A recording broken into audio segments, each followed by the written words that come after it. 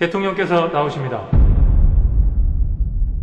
대통령으로서의 직책을 성실히 수행할 것을 사랑하고 존경하는 국민 여러분에게 엄숙히 선서합니다. 한국 정부를 우습게 보지 마시오. 굴욕의 역사는 가지고 있지만 굴욕의 정치는 하지 않습니다. 그 모두를 국민들을 위해서 쓸 수 있다면 참으로 행복하겠습니다. 정부의 가장 중요한 정책 사업입니다. 밀어붙일 수 있을 때 밀어붙이세요.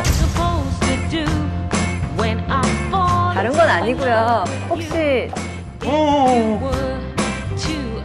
집사람이라 호칭 좀 쓰지 말라니까. 그럼 당신의 집사람이지 바깥 양반이야? 244군의 주인공은 구야, 구야, 구! 행운의 주인공을 가리는 마지막 번호는 9번입니다.